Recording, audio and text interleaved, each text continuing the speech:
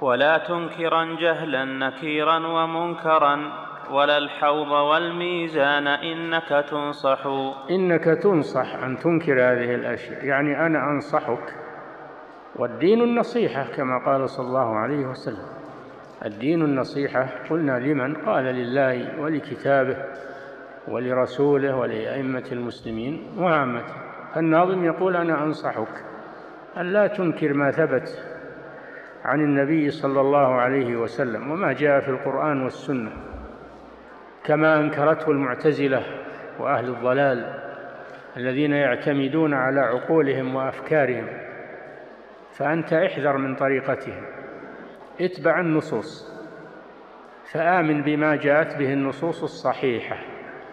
وهذا من الإيمان بالله سبحانه وتعالى.